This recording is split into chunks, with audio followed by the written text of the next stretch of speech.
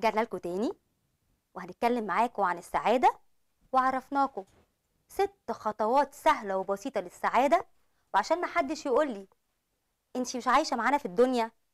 هو انتي مش شايفة العيال والمدارس والمصاريف والدنيا والدين والشغل والدوام و...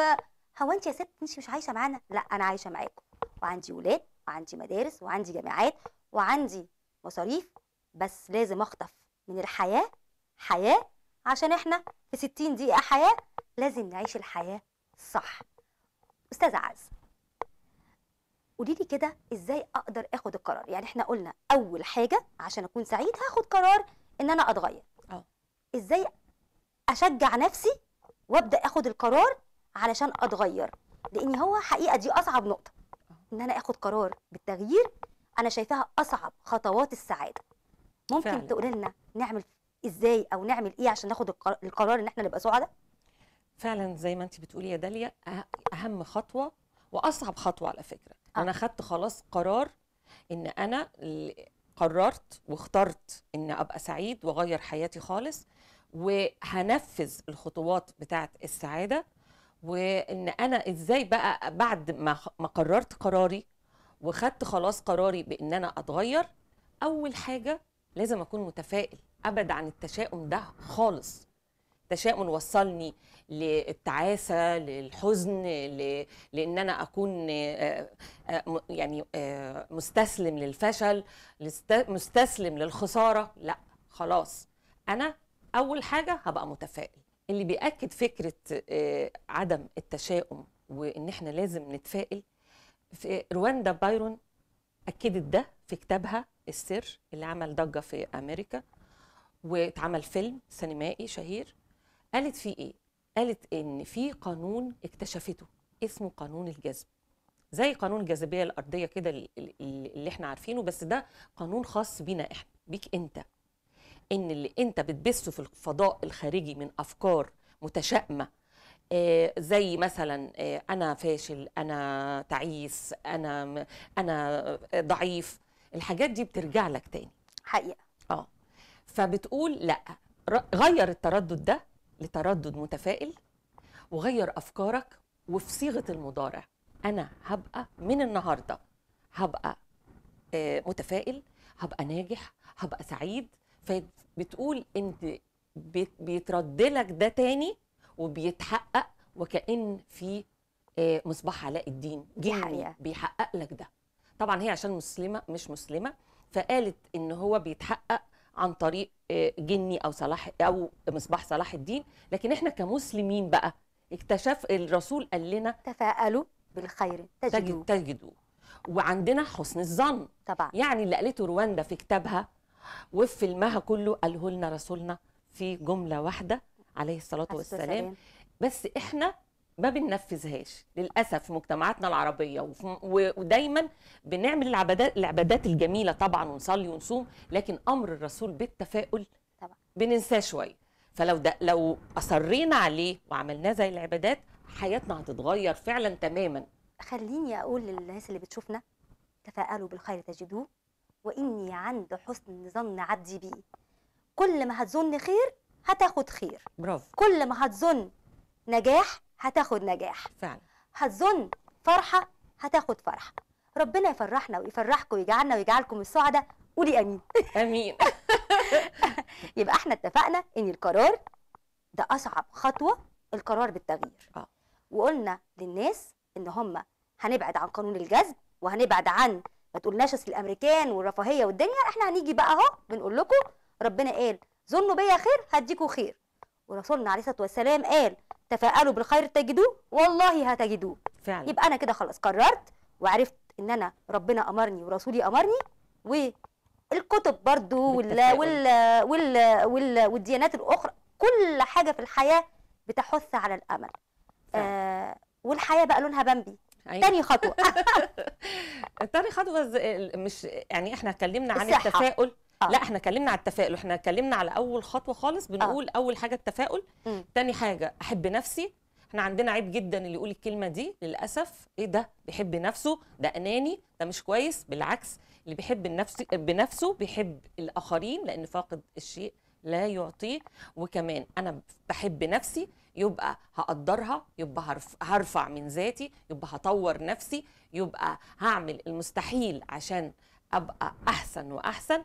وبعدين أنا لما في مشاهير آه، كانوا مشهورين جدا وعندهم كل حاجة داليدا آه، مارلين مونرو ماتوا منتحرين. عندهم كل حاجة بس في لحظة كرهوا. نفسهم كرهوا نفسهم دنوا من قيمتهم خلاص. هم مش مش حاسين بالقيمة بتاعتهم اللي الناس كلها عاملاها. ليه؟ لأنها كرهوا كرهت نفسها. فانتحرت خليني أقول لحضرتك إن أنا كان من أسباب وجودي كمذيعة أو كإعلامية فيديو live عملته من خمس سنين حب نفسك وقدرها عشان لو أيوة. ما حبيتهاش ما حدش هيحبك ولا يقدرك حقيقي فحب حقيقي. النفس وتقديرها ده حاجة مهمة جدا طبعا وعايزين ننقل على بقية الخطوات لأن آه. وقتنا آه، طبعا الكلام معاكي شيق جدا وعايزين. نفيد الناس بكل كلمة حضرتك بتقوليها بعد كده هنتنقل بقى لأن الكتاب لازم يتقري كله مش هنقول كله بس بعد كده مثلا لو اتكلمنا عن الخطوه اللي هي الصحة. ال- التانية بتاعت الصحة قلنا إن إحنا آه، يعني نهتم بصحتنا ونشوف إيه ال- اللي هي لصوص السعادة الحزن آه، آه، القلق. آه، الخوف كل ده لازم نقضي عليه بحيث إن إحنا لو نخلي بالنا من صحتنا لو في أمراض نفسية نعالجها أمراض تانية عضوية. عضوية نعالجها فإحنا برضو اتكلمنا على الصحة قبل كده ونهتم إحنا ممكن نقول لو اهتمينا بطريقة أكلنا وشربنا الصحية هنحافظ على صحتنا يعني بلاش نوصل للمرحلة إن أنا أعيا وأقع فيها وأرقد في السرير فأبدأ أدور على علاج وعلى آه، نفسية. صدقوني يوم ما تلاقي نفسك مكتئب عيط. أنا بقول لكم عيطوا. طلع كل اللي جواك الطاقة السلبية اللي جواك في العياط. اخبط حاجة بإيدك. لو هيريحك إنك تكسر حاجة كسرها. بلاش إن أنت ده حقيقة.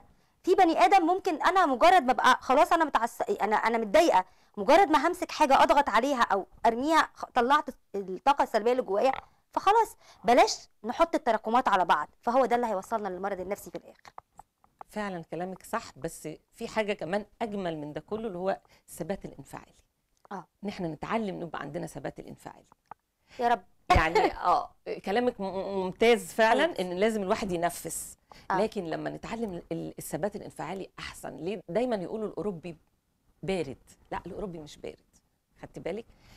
الأوروبي علموا المجتمع كله الايه؟ الثبات الانفعالي. إن هو يدرب نفسه ينفس يحكي لصديق يمسك ورقة وقلم ويكتب. ما ي... ما ي... ما يبقاش عصبي قوي لأن العصبية برضو بتعمل آه، أمراض نفسية كتيرة وبتخلي الإنسان يتهور ويقع في مشاكل أو يقع في أخطار. بس يعني. هو أنا لما قصدت إن إحنا ننفس عن نفسنا طبعا ما قصدتش العصبيه لكن أحيانا أنا بكون مخنوقة آه. وحابسة دموعي علشان ما حدش يشوفني وأنا بعيط. يا ستي ادخلي في أوضة لنفس على نفسك وعيطي علشان تطلعي الطاقة السلبية اللي جواكي. آه مع ثباتك الانفعالي طبعا آه آه قدام الناس أو قدام ال... لكن مش عيب ابدا إن انت تعبري عن حزنك وعن قلقك جوه ال... جوه ال... ال... مع نفسك. طيب إحنا كده اهتمينا بالصحة وأنا شفت حضرتك مركزة كمان جدا على الصحة النفسية. أكتر من الصحة الجسدية. هما الاثنين بيكملوا بعض لكن إذا صحت الصحة النفسية صحت الصحة الجسدية. يعني لو أنا نفسيتي سليمة أنا واحدة من الناس باعية نفسيا والله. لما نفسيتي بتتعب باعية. فعلا بمرض. فعلا طبعا. ودي حقيقة. طبعاً. فلازم ناخد بالنا من نفسيتنا. آه يعني دي حاجة حلوة. يبقى إحنا كده اتكلمنا عن تاني خطوة اللي هي الصحة تالت خطوة الهدف والطموح وأعتقد دي بتختلف من كل فرد للتاني. حضرتك تقول لنا إزاي الناس تحدد أهدافها آه في دقيقه كده. آم، ال- الخطوة السادسة إن الإنسان يعرف زي ما قلنا دوره إيه في الحياة. ربنا خلقه ليه؟ إيه الحكمة من خلقه؟ طيب يا ترى ربنا خلقنا عشان نتعب عشان نبقى تعسة عشان نبقى في هم وغم وابتلاءات وهي دي الحياة؟ لا طبعا لا أكيد. طبعا. ربنا خلقنا في أحسن تقويم. ده كلام ربنا. قد خلقنا الإنسان في وخ- وقد خلقنا الإنسان في أحسن تقويم. وخلقنا مكرمين.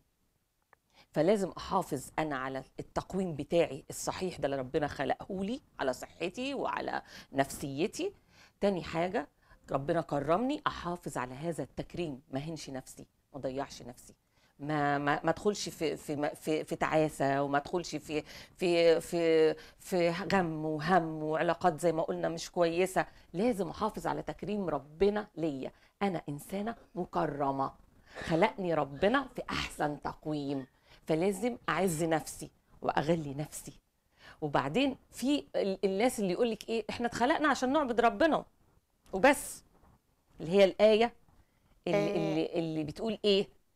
ولقد خلقنا الإنس والجن إلا ليعبدون. وما خلقنا الإنس والجن إلا ليعبدون فخلاص. ربنا خلقني آه علشان- هقول لحضرتك على حاجة. علشان أعبد ربنا وعلشان أصلي وأصوم وهي دي الحياة. يا أستاذة هم فاهمين غلط. تفسير آه. الآية إلا ليعبدون العبادة هي الصلاة والصوم والعمل والحياة والرحم والتعاملات. كل دي عبادة. العبادة ليست الصلاة والصوم فقط. برافو عليك العبادة هي أسلوب الحياة.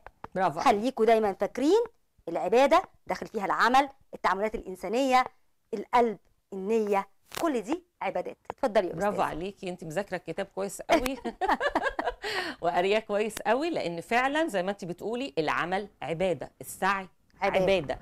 إيه إن أنا أساعد الغير عبادة. إن أنا أحافظ على صحتي واحافظ على اللي ربنا اداهولي من نعم عبادة.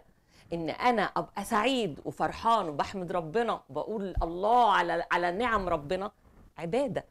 فعشان كده بقول لك لازم الإنسان يعرف هو اتخلق ليه واتخلق دوره إيه هيعرف إنه اتخلق عشان يبقى سعيد. سعد شكرا ليك يا أستاذة. وخلينا نقول النهارده كلنا من 60 دقيقة حياة هنبدأ الحياة بسعادة بست خطوات للسعادة.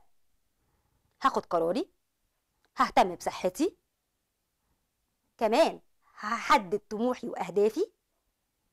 هختار علاقاتي والأهم هختار شريك حياتي وأعرف ليه أنا اتوجدت في الدنيا وإن العبادة مش بس صلاة وصوم العبادة عمل وتعاملات وإنسانية وجبر خواطر مساكوا جبر خواطر مساكم سعادة ويا رب دايما نعيش في سعادة. كل الشكر للكاتبة الروائية الأستاذة عزة حسين ويا رب دايما في سعادة وشكرا على ست خطوات للسعادة. أهلا بيكي. أهلا بيك يا حبيبة قلبي.